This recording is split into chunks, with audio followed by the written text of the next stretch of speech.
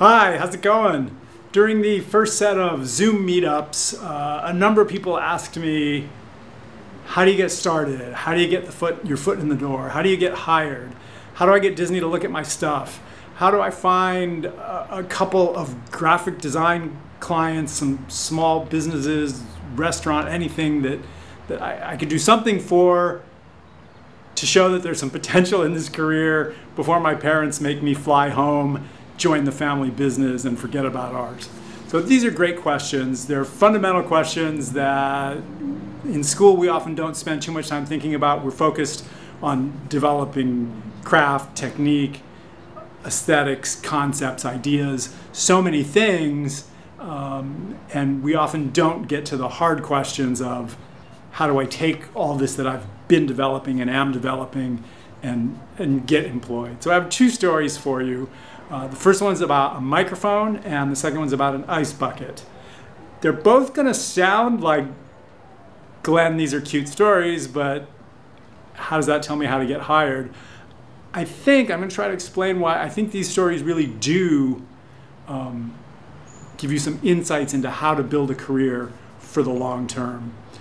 Before I start these, uh, these exciting stories, I want to share a, a movie quotation with you uh, Terminator 2, Judgment Day, Linda Hamilton as Sarah Connor. We're in the middle of the film. They've somehow survived the first set of challenges. They're out in the desert, safe for the moment. Um, they're getting a little bit of rest and regrouping for what they know will be a second and even bigger set of challenges.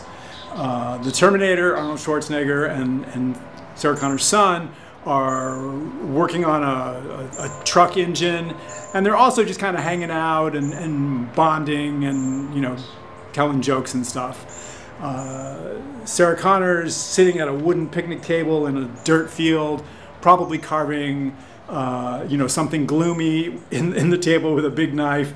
And as she's watching her son and the Terminator interacting and bonding, uh, she has this great voiceover. It's my favorite part of the film, or maybe the only part of the film that's really uh, anyway, I think part of the answer to how do you get this career going is to be the terminator of your career. And by be the terminator, I don't mean kill your career, I mean have this relentless, will not take no for an answer drive. Don't be a pest, don't wear yourself out on people, but keep going, keep knocking on doors. If, if you know, no, it's never fun to hear the answer no. And in the world we live in, more often than you hear no, you're probably just going to be ghosted. You're just not going to hear anything from someone, uh, a person, an organization, whatever, uh, a gallery. But keep going, right? The Terminator gets hit with bullets, gets pushed back, but doesn't turn and run, keeps going forward.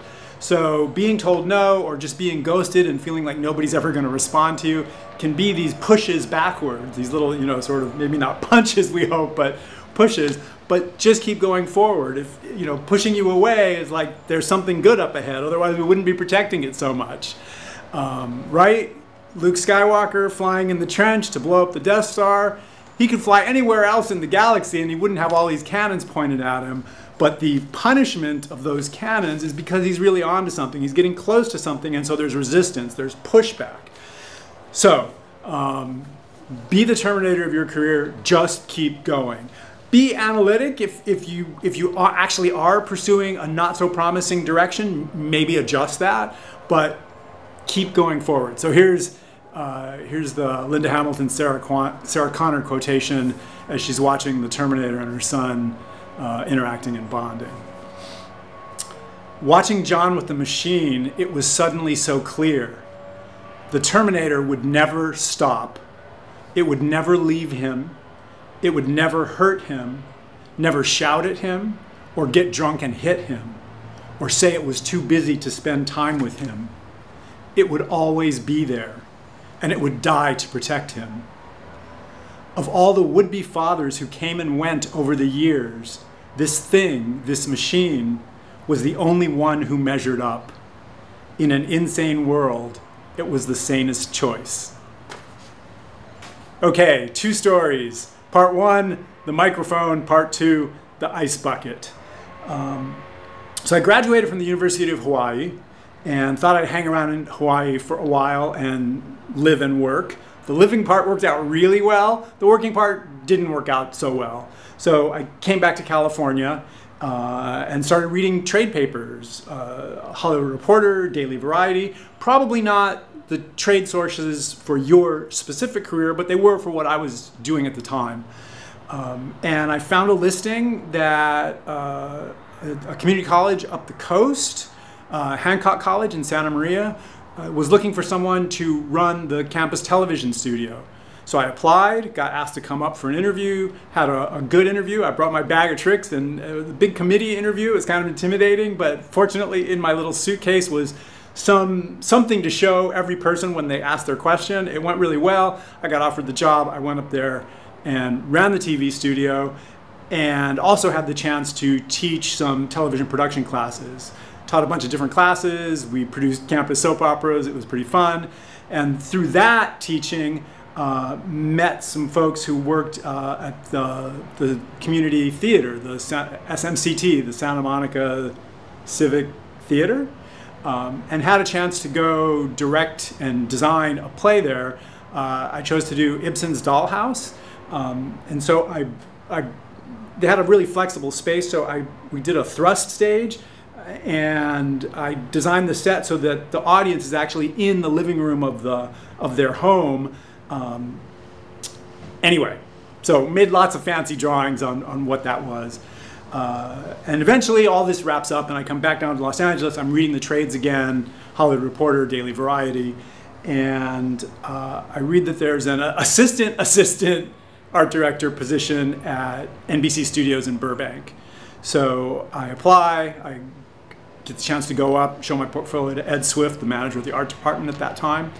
Um, I show him some some set design I'd done in a in a theater uh, stage design class, some drawings from architectural drafting classes, uh, and then my drawings for this dollhouse and some things I had done at the college, and also I had done an elaborate set for another play, Talley's Folly. So I showed him all these drawings and got hired. So now I'm an assistant assistant art director at NBC. It's pretty cool. And at some point, somebody says, hey, there's an opening uh, on a soap opera over at CBS. You might want to check that out. Uh, so I do, and turns out what's happened is um, CBS is launching a new soap opera, The Bold and the Beautiful, and the producers of The Bold and the Beautiful have hired the art director of another CBS soap opera, Capital, to be their art director. So now the producers of Capital need to hire a new art director, so they promote their assistant art director, Gary Steele, to be the art director of Capital. So now Gary needs to hire an assistant. Um, so I call him up, I go over, I show him my portfolio. Uh, I've done some cool CAD drafting at NBC in the meanwhile, and uh, we, we hang out, we hit it off, he hires me, very cool. So one of the ways that NBC, uh, CBS uh, lets people make a little extra money is every now and then they have to do these uh, network promos, these bumpers, the 15 second things that go in commercial breaks where the cast of a show appears and says, you know, hey, watch our show, we're funny. Uh, really simple. Simple set, not a big soap opera soundstage, but just a little tiny insert stage. Um, Occasionally they design a new set for those things, but most of the time they just set up a set that already exists. So uh, it's a union shop, so there has to be an art director on the thing, so different people get a turn. Uh, so I did network promos. You go in, you can go look at the set that the carpenters have set up if you actually want to, but you don't even have to do that. You just go up to the art department and sign in, and you get another day's pay. At some point, I'm given uh, the art director job for the CBS coverage of the Rose Parade on January 1st, New Year's Day, which is not a go in for five minutes thing. It's a two weeks hanging out on the corner of Orange Grove and Colorado Boulevard in Pasadena, setting up this big broadcast booth. Um, and like the, the promos, um, they basically use the same booth every year. They had this uh, not so attractive to me red and white striped box thing. Uh, so I took it upon myself, even though I wasn't asked to, to design a new booth. And I, I designed a gigantic chrome CBS eye, and the pupil of the eye uh, was the table behind which the celebrity hosts would be sitting. And then instead of the black and white CBS eye logos that they had at the top of the bleacher areas, I designed some chrome logos. So I showed it to a producer, and I'm sure they didn't like literally pat me on the head, but basically they said, "Yeah, nice, nice drawings, kid. Looks great. Also looks expensive. I think we'll go with the set we already have. Uh, but hey, those chrome logos are cool. Why don't you print some of those and stick them up there?" So I go up to Pasadena every day for two weeks to do not very much. Uh, at one point, so there's two booths. There's this huge booth way atop all the bleachers. That's the big broadcast booth, and then there's a little tiny street level booth down below, right on street level. Uh, and so there's two celebrities at each location. So there was some issue with the street level booth. I don't remember what it was, but we had to this truss that was there. We had to take that apart and figure out a new way to hang this canopy. So I worked with one of the carpenters, my favorite carpenter, and we came up with this new thing. And other than that, it was just kind of watch people assemble a thing that already exists. So one day, about eight days before the Rose Parade, um, somebody comes in in the morning for this morning meeting. We're all up in the broadcast booth or down in the parking lot, wherever we were. And somebody says, uh, Oh, those NBC guys they bolted a microphone on the railing right in front of our street level camera. We can't get a shot with this thing. Well, that's outrageous. We're going to talk to the Tournament of Roses officials today, and we're going to have them make NBC move that microphone. So this goes on for a week. Every single day, same thing. Come in in the morning, ah, this is NBC microphone. We're going to talk to the TVR people again today and make sure they get. And every day, nothing happens and I just listen and keep my mouth shut. Finally, it's New Year's Eve and the NBC microphone is still right in front of the CBS camera. So with the normal morning, you know, cussing routine, finally I raise my hand and I say, uh, you know, I know the NBC guys. Do you want me to go talk to them? Oh yeah, that'd be great. So I go two flights down from the broadcast booth to the parking lot 50 feet out to the street, 50 yards up Orange Grove Boulevard, and a half a block down on Colorado Boulevard to like some old gigantic Lions Club building that NBC has rented for their broadcast headquarters. So I walk inside.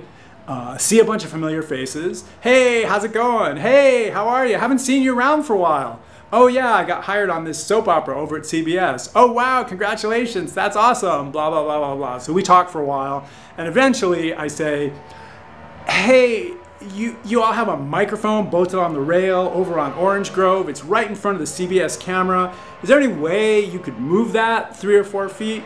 Oh, yeah, no problem. We'll take care of that right away. So, what's it like over at CBS? Is it, is it the same? Is it different? What's going on? So, I hang out at NBC for 20 minutes and talk uh, and then I leave and go back. And by the time I get back to CBS, the microphone has already been moved.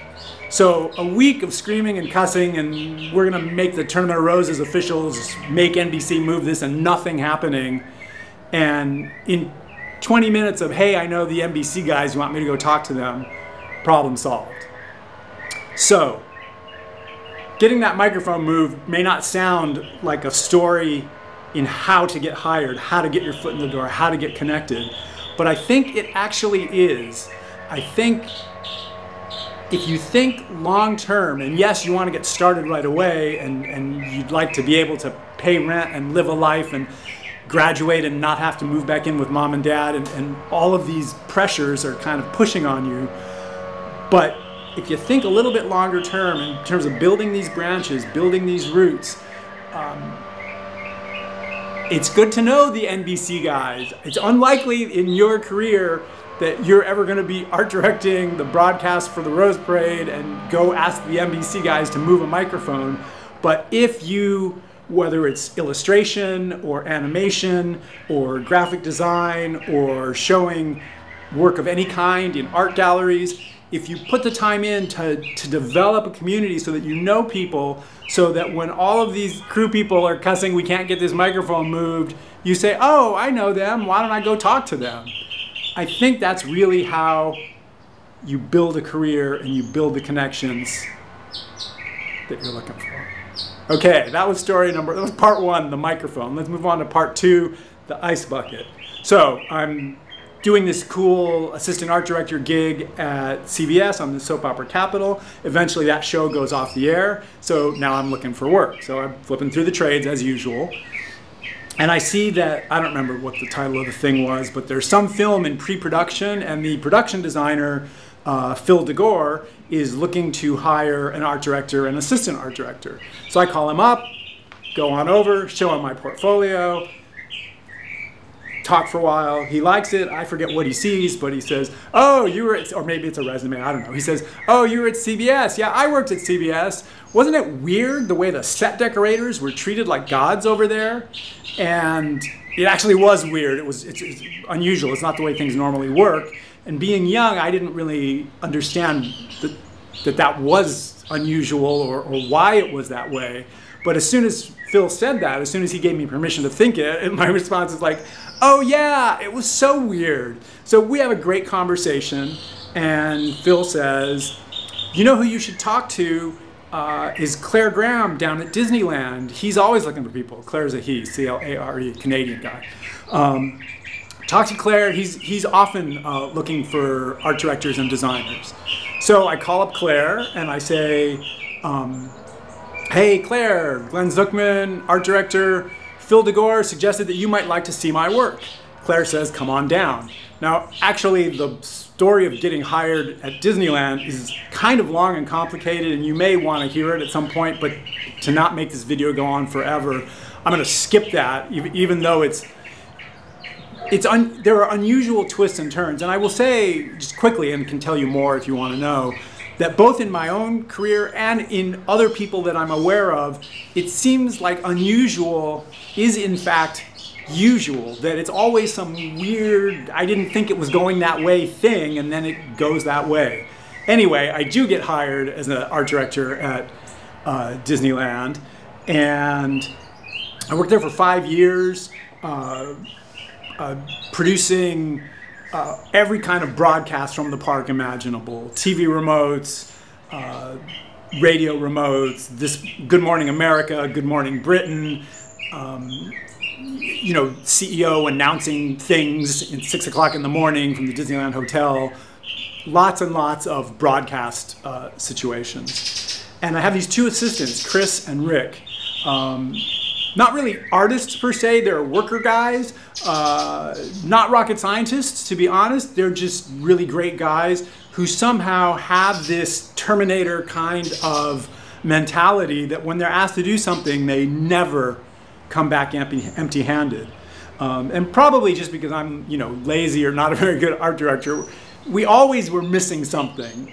Um, you can't load sets into the park when guests are there. So you have to wait till the park closes. In the summer, it doesn't close till 1 a.m. So you're always loading in at 3 in the morning. And in case you didn't already know this, 3 a.m. is the coldest hour of the night. It's way colder than midnight. Anyway, you're loading this stuff in at 3 in the morning, and it's like, oh, uh, do we have a podium for the CEO to stand behind and make their speech? Or, oh, we have a podium, but do we have a logo? Or, oh, you know what? These hosts are gonna, we didn't know about this sun angle at this hour. These hosts are gonna have sun, it's gonna be bad. Do you have some kind of shade thing? Or, oh, this shot goes straight across through to the trash. Can you, do you have any foliage or something that you can put in there? So there just was always something. And so at three in the morning, I would turn to Chris or Rick or both and say, I need X. And they would go away for some period of time, sometimes short, sometimes long. And they would always come back with X. And it would work. Um, a little bit of stress because you're never sure, but they never failed in all the events we did in five years. Um, sometimes at one in the afternoon, some supervisor from tech services or show services or the sign shop or landscaping or decorating would call me and uh, cuss me out because my guys had stolen their stuff. Um, Sebastian Moreno from decorating, Sebastian Moreno, aka Maury, would call. Getting cussed out by Maury was great for two reasons. One, he's the nicest guy in the world, and getting cussed out by him is not really getting cussed out. But the other thing is, um, if somebody's cussing me out at one in the afternoon, what that means is that the event worked at six in the morning when national cameras were rolling and the CEO was announcing whatever the Walt Disney Company's doing next. So, anyway, Chris and Rick, amazing guys. Dot, dot, dot, fast forward. Uh, Long Beach State University. I've got a radio show at the campus radio station, 22 West Radio. Um, and I think we're having some sort of conference or something. I don't remember what it was, but at some point, someday, the general manager asks the assistant general manager, go to the supply closet, get the ice bucket, go up to Carl's Jr., get ice, and take it to conference room number X. Uh, because we're having this conference or whatever, and we have some arrangement with Carl's Jr. to get ice. So later that day, I'm in the conference room for whatever the event is, and there's no ice, and the GM is just livid at the AGM for failing to get ice, and the AGM says there was no ice bucket in the closet. And Chris or Rick would have never said that. That never would have happened with them. I think the, the instruction that the AGM Britain had in her brain, great person, by the way. I'm not really, I don't really mean to diss her with this story, but um, the instruction in her brain was something like uh, proceed to perform task. If roadblock encountered, terminate task. Uh, and Chris and Rick had the exact opposite instruction in their brains. It was proceed to perform task. If roadblock encountered, take a different road. If all roads are out, invent a helicopter and fly over the river. If this planet has no atmosphere and you can't fly, dig a tunnel under the river.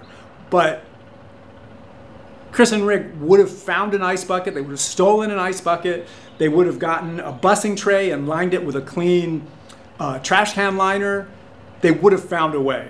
If they got to Carl's Jr. and they said, sorry guys, the ice machine's broken today, they would have gone to Pollo Loco and gotten ice. If Pollo Loco said, sorry, the water's out in the in the USU and and nobody has ice today, they would have found ice. They would have gone to the dorms and found ice. They would have figured out that for some reason there's an ice machine in the basement of the biology building.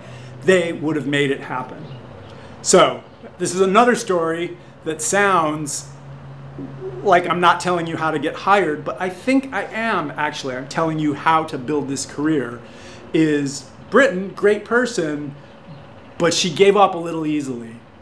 And Chris and Rick, for some reason, they just had this internal programming that no matter what this, this guy asks me to do, I'm to find a way to make that happen. It's a priceless skill, and I think if you develop that ability. Again, be the terminator of your career. If, if you're pushing here and it's not working, push harder or push the other way or find another way to go or fly over it or dig under it. But keep going. Keep going to art galleries.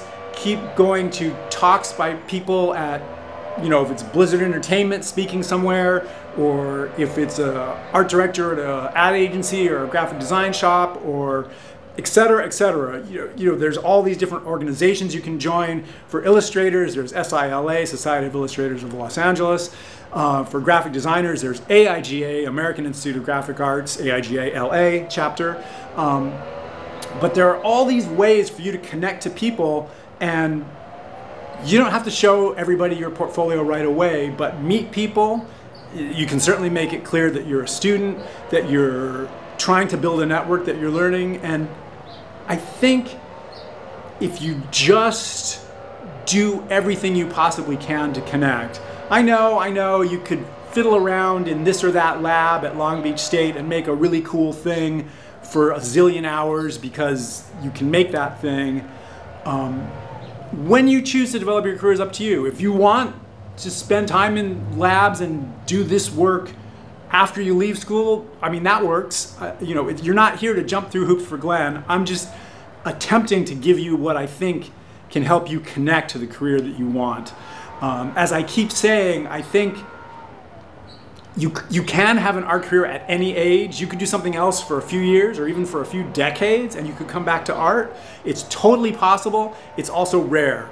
I think the sooner you can get some kind of traction, get some kind of connection, start building those branches and roots, build those connections, the more likely it is that you can find your way to an art career. You don't have to be a genius, you don't have to be the greatest artist, you just have to be willing to pound the pavement and uh, you know, again, I told stories where I was reading Hollywood Reporter Daily Variety. You would be reading something different.